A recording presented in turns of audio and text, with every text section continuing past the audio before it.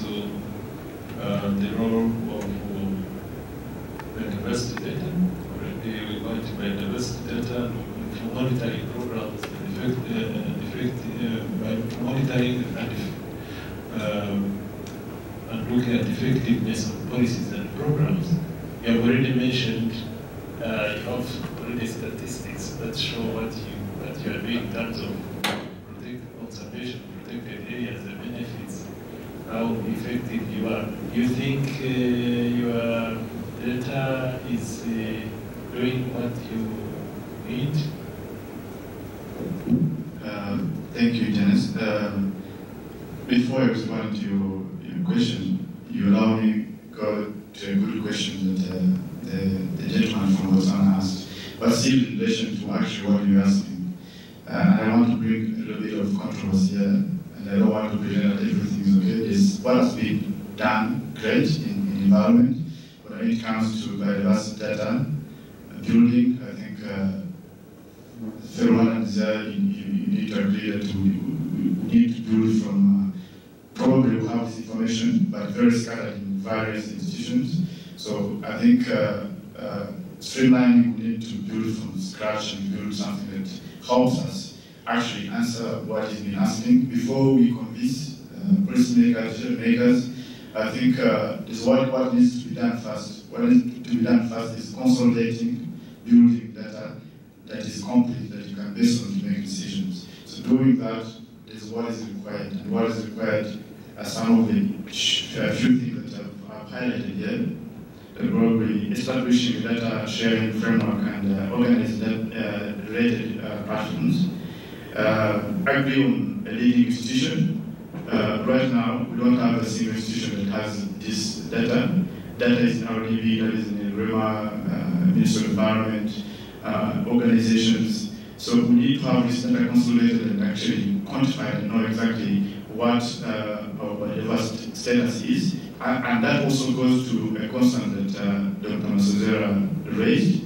Uh, when we talk of biodiversity, we only think of big mammals, but biodiversity goes beyond and probably actually beyond the national parks. Because when, when they say biodiversity, people only come back to national parks, but this goes beyond and actually, uh, I think, uh, uh, first even our second step to uh, having these priorities put together and build a system, we also come, we need to come back and uh, find who is a partner, who is a stakeholder.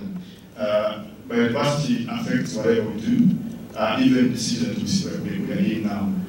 if I would ask the landscapers, architects, probably we only have mass in this house, but where are other architects or landscapers that influence actually that this tutorial would help us uh, perfect our biodiversity in better shape. So I think uh, before we even think of uh, convincing, we need to really build ourselves from scratch and have a better uh, uh, uh, data system that has what we need to convince. So coming back to your question, when we have data, but our data can't actually influence 30% of what should be done in a country. Because the data we have is only in our national parks. And biodiversity beyond. We need to influence land use, uh, policymakers. Uh, we need to influence how our city is designed to also remain part of what we, uh, the, the biodiversity beyond protected areas. So I think the data we have is not enough and we need to consolidate with other data elsewhere so that we have a complete uh, data system. So from the SDG point of view then, um, we know uh, SDG 14, for example, and 15, where 14 talks about oceans or aquatic ecosystems observation, while 15 is about terrestrial ecosystem, sustainable use of terrestrial ecosystems. Uh, I'm wondering, for the context of Rwanda, what you have seen in terms of biodiversity data and monitoring uh, policy and programs, whether uh, appropriate indicators featuring in the National Statistical System, the National um, Institute of Statistics of Rwanda. Has been domesticating, what what have you seen and what's your comment in terms of Rwanda?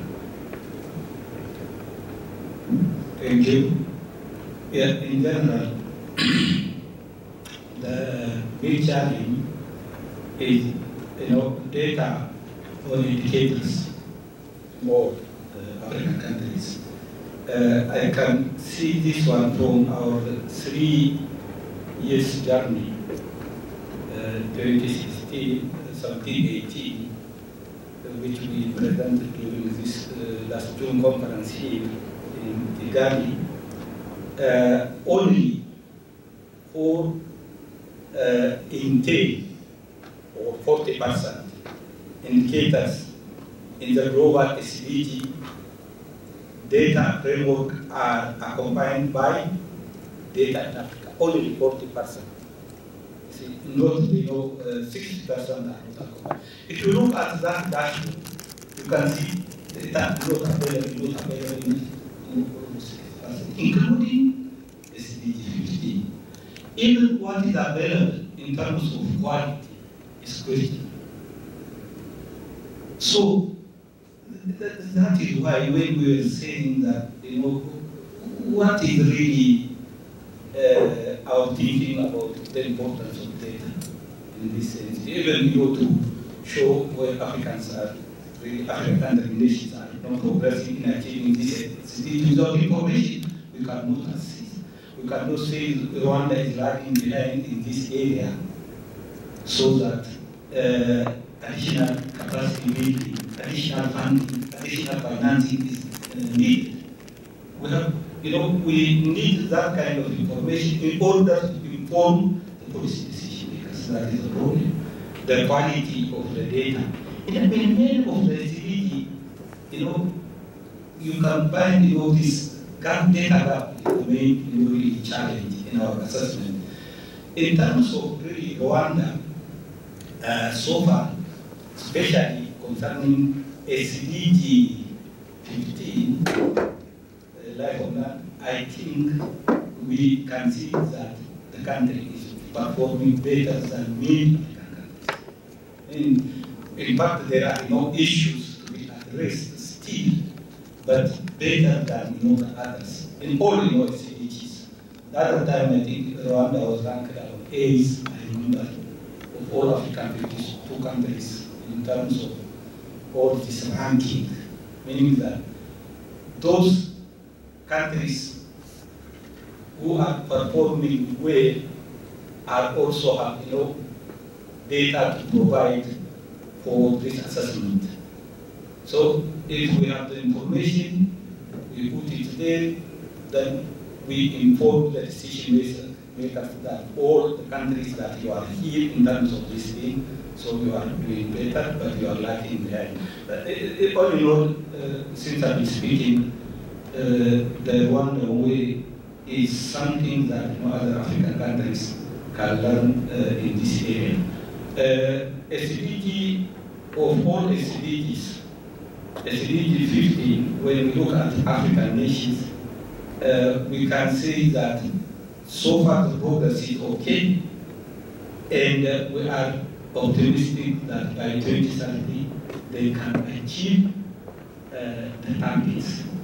That is assessment, including the one, even the one that is better in terms of you know, really achieving 15. Thank you. Yes, before we get uh, questions from inputs, maybe even UNDP can comment on uh, the biodiversity uh, uh, informing policy and programs. Thank you. Um, maybe I base on the comments of Sam and Michelle um, to provide my comments. So I agree with Michelle that we need uh, to also monitor biodiversity uh, that is on the agricultural land. I commend the efforts of RDB in monitoring biodiversity inside protected areas. But when you look at outside protected areas, we don't know really where, what is going on. Where we are using pesticides, how do we make sure that they're not killing bees and birds that are playing a, big role in pollination. And when we put um, chemical fertilizers in soils, how, what is the impact on worms and other soil biodiversity? It is a question. And also on agricultural land, we have uh, some uh, big birds that are also under threat of extinction. Uh, we have vultures and others that also need protection so that we don't lose them as a country. So, and for some, I completely agree with you that uh, collecting biodiversity data, analyzing them, and use them to inform decision making isolation way helps a bit, but doesn't help for long-term planning. Um, UNDP is trying to support different uh, ministries and directorate generals to address some of the biodiversity-related issues. I will mention a few. For instance, if I start with the Minister of the Environment, we're trying to see how we can put in place a long-term monitoring system for environment, climate change, and biodiversity.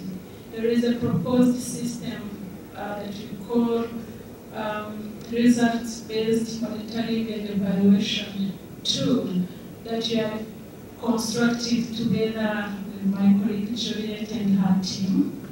Under this tool, and this is a kind of portal that is being used by the, the, the ministry to inform the decisions made on environment and natural resources. REMA has indicators to report on, Meteo Rwanda, the Rwanda Office of Land and others, all of the subsectors under the sector have their own indicators to collect the data on, on on, and some of them have already baselines, others are trying to conduct baseline studies.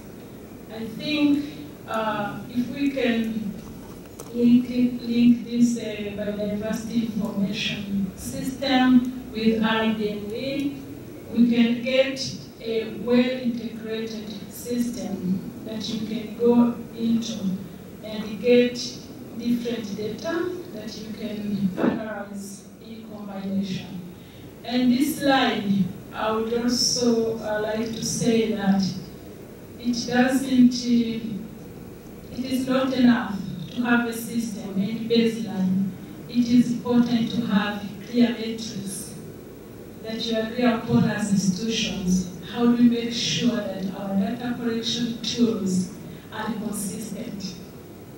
How do we decide together at how often are we going to revisit or to correct other data for long-term monitoring?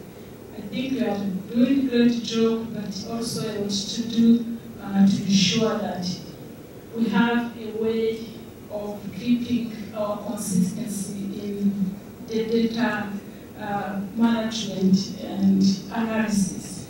And this platform is one of the examples that you can reach there. So to address climate change and the issues related to biodiversity loss on agricultural land in protected areas, we also have the different programs. For instance, in REMA, we are working on a, a project to restore uh, Mayaga ecosystem. So if we plant more trees, we reduce soil erosion that pollutes uh, water bodies. This way, we are trying also to restore biodiversity that is there. And you have also another program with the Ministry of Environment on a, a mapping all of the wetlands of the country and develop the wetland master plan. So the master plan will help us to know or to agree on how we better use our wetlands. If we decide to use the wetland for maybe rice plantation, how do we make sure that we sustainably use water that you're putting there? And this rice plantation is managed in a sustainable way. And how do we decide which wetlands that we're going to protect as a, a filter of our, maybe, or, or as a, uh, an ecosystem that helps us to clean our water bodies and control that. And uh, I jump from climate change, maybe go to biodiversity financing. I've been working with REMA on um, finding uh, biodiversity financing solutions that can help the country to get more money in addition to what we get from ecotourism. And we have a list of proposed solutions that we think can choose some of them that the country can start implementing starting in the next year. And UNDP played a big role in creation of FONERWA, the Rwanda Green Fund. And this is a country uh, institutional instrument that is already helping to finance biodiversity conservation, uh, climate change mitigation and adaptation, and importantly, to ensure that private, private sector plays a role in addressing climate change issues. So for FONERWA provide grants and ensures that private sector get uh, loans at low interest rate to have um, good practices that ensures environment protection. And also UNDP uh, supported the development of green growth and climate resilience strategy, and we're working together with the Ministry of Environment to review it. And the strategy provides for uh, possible interventions and even strategies and paths that should be taken by government institutions, private sector, civil society to ensure that water becomes climate resilient and low carbon economy by 2050. Thank you so much. Thank you. Okay. So um, I will come to um, the audience for, for comments about what we have discussed. Um, uh, I'm glad that they brought, out, brought, up the issue of data which myself have noted through the scientific uh, community. Uh, for example, about forest, forestry, forest coverage in the country, both uh, natural in protected areas, but also in plantation forests. There, is, there are different figures from. so, uh, as mentioned, as she mentioned, we need we need to have uh, an agreement between all institutions so that the data from, for example, forests which are which have uh, our biggest uh, species or, or, or genetic or species diversity. I think we could we could comment on that. Um, also about uh, having data on uh, on the threats on those, for example, those species, bird species, for example, which are not confined to to, to protected areas. The, I know the, uh, for example, there's an NGO that has tried to restore certain parts in agroecosystems for crested cranes, for breeding and other migratory species. Uh, but the issue of lacking data on uh, herbicide use or, or plant protection spraying in terms of pollinators remains a big challenge. So, uh, in inviting the audience, members of the audience to comment to ask questions, perhaps we could already look at priorities for data uh, needs and how it can be organized uh, in terms of going forward to build an information system. Uh, so,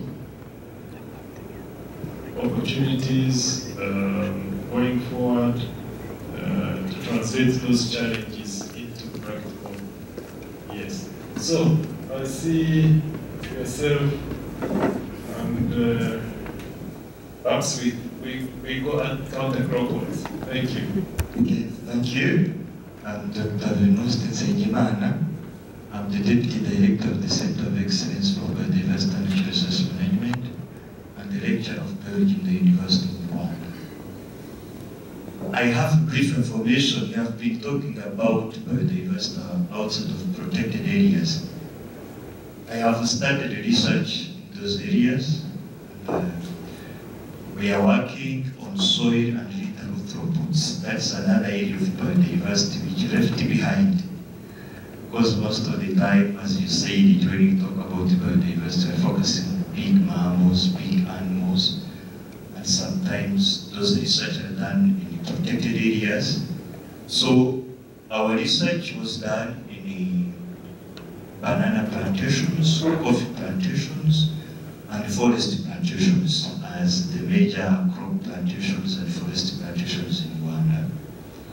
But as you know, uh, it is a starting point. We still have a long time to work on those areas because the big challenge in Rwanda is that we don't have taxonomists. And uh, to identify those small animals, you have to be skilled in identification. So far what you have done, we tried to do the identification up to the family level for the most of collected arthropods, and we tried to go deep for ants only to species level, which is a, for me, which is a, a big job, because less skills, less information is available about ants in Rwanda. And uh, the panelists talked about the importance of biodiversity. There's a small uh, invertebrates, for example. Ants are very important for soil health and for soil quality as they are soil ecosystem engineers, they are the, they create the galleries, which is very important for soil aeration, for water availability in the soil, for soil nutrients mixing, different soil horizons, and that is a great role for soil invertebrates, which is left behind in most of research, not only in Rwanda, but also in different countries. So that is, uh, I think, a, a, good starting point, and in your records, you may add those research. Some are available, already published in good journals, some others in the way of being published, and uh, they were digitized. the photos for collected ants. It is also another opportunity for Rwanda because race is known about those ants. So we still have hope that we shall continue doing research in those areas. There was also an issue about the pollinators. That's another area where we need really big support. So we are working on butterflies, which is also another domain of entomology left behind. And as we know, they are among the good pollinators. And there is hope that soon the first uh, data shall be published in journals. So those two areas are working on, but still the road is, uh, there is a long journey to come up with good results. That's the information I want to share with you. Thank you.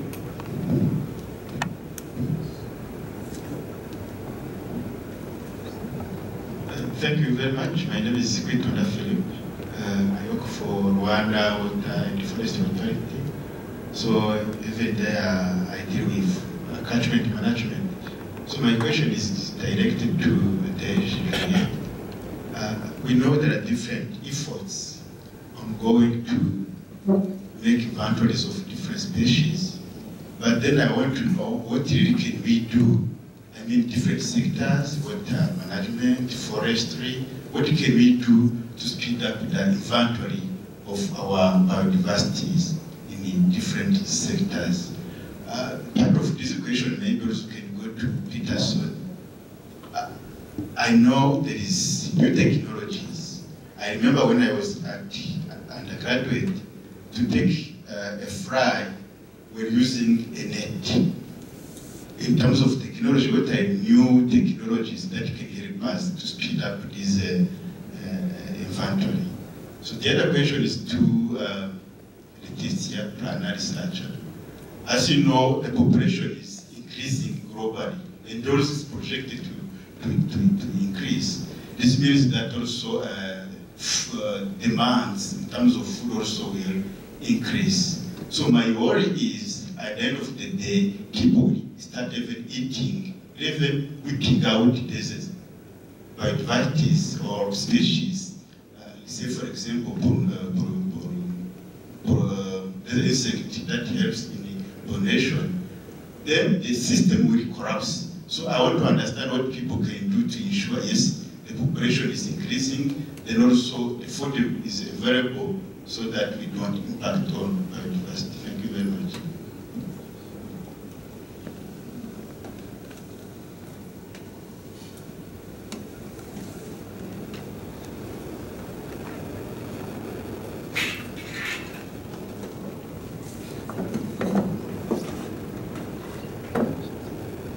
Uh, hi again, uh, my name is uh, Emmanuel H. Martin, a lecturer from the College of African Wildlife Management, Mweka, Tanzania.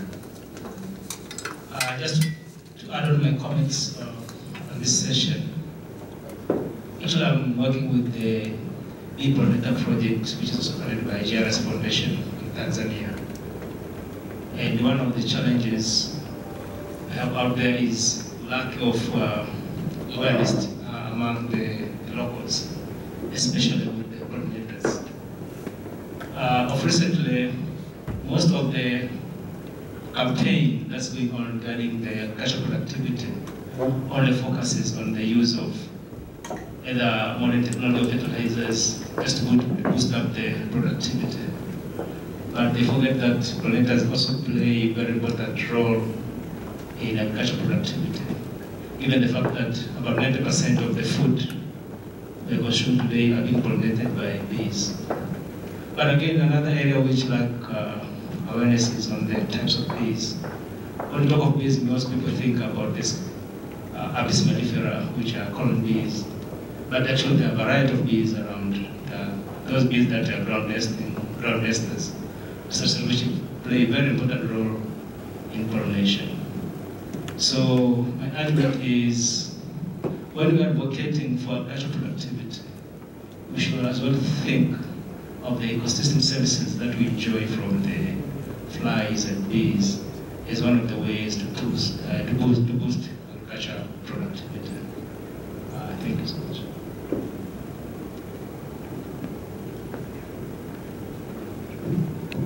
Uh, thank you. My name is Musa Nabala. Uh, my question comes for uh, uh, DG Juliet, but uh, following uh, the remarks from uh, from NDP about instruments, we are we are we are maybe moving ahead on instruments to, fund conservation and biodiversity conservation. But what about research? Generally, we have a lack of uh, uh, research instru instruments to fund for, for research funding. We do have a couple of uh, systems in place, but just give an example. Uh, for a long time now, with, with the, Malabo Protocol for Agriculture, we have 10% of the, the, the, the, government budget should go to agriculture. Uh, now we are pushing a little bit. I think uh, the next meeting, uh, the STISA protocol was saying that we should have 1% of the GDP going to research. So how are we sure that 1% of all efforts in all sectors that Dutchman environment also has a share for environmental uh, monitoring? Because we know it, we, we talked about climate change for a long time, mitigation is, we have now our third communication, but we still don't have funds to have entire tree tools for measuring uh, uh, carbon sequestration of our trees. So that means we, we don't have a, a, clear map of the data gap. And imagine now biodiversity is jumping in. our sure, maybe we can, it's fashionable today, but maybe in five years we start struggling for funding and have a, a, a funding gap. So I, I, think it's very important while thinking on sustainability, look at the instruments, simple targets that uh, policymakers can keep, get uh, accountable for uh, that they can also monitor and monitor and track. uh, while also developing framework like uh, Philip was saying or the, previous uh, the comments uh, on, on which indicators we also need to have something a bit macro on, on funding and research. Yeah, thank you. Just, I'm not going to go back into the issues, we know them. We don't have enough data, data is scattered, and uh, there's an issue of who's in charge of validating or quality control of that data. We also have been uh, attending the Environment Natural Resource Sector Working Group in the past. And when you look at the reports or strategic plans, there is always lack of baseline data. When are we going to collect that information? And that information can help us to think the way forward. When you go into this uh, forward-looking or backward-looking, there is always a gap in the baseline data. And we know we have uh, the National uh, the University of Rwanda. They have all departments, soci sociology, uh, chemistry, biology department. These are, it's a manpower. If we strategize it well, there can be a long-term monitoring system where we can monitor all the streams in Rwanda, all the forests in Rwanda. And over time, can have that information to help make decision making or prediction in the future. But that is, system is not there. I think in this meeting, we have to come up with some action on it. Because next meeting, we don't need to be coming back again. These are the issues. Again, data collection is not the one person who can do that. There is a civil society, there are NGOs, there are international outside universities. Why can't we sit down one, one time, one day, to map out what are the key research questions that are making uh, Tiziano sleep at night, or Juliet, what are the key big questions we want to answer? And then we put them out there on the web. Any researcher who wants to come to the country will come and apply for research permit. Instead of uh, spending three months applying, you give him in a week, he gets his permit or her permit, and then that will be the best way of moving forward. At the end of the day, I'd like to ask uh, our friend from South Africa, is the role of uh, the sun, sunbines, sunbeam, the quality control, who is in charge of quality control? Because there is a data collected under the Ministry of Agriculture, Ministry of Environment, Ministry of Health. At the end of the day, we have to understand what are the impact of the environmental degradation on the public health in Rwanda. So who is in charge of quality control? At the end of the day, we have to think about that institutional arrangement, who is in charge of quality control, and how the data is collected over time. Because environmental data is not one time, one point in time. It has to be continuous. Thank you.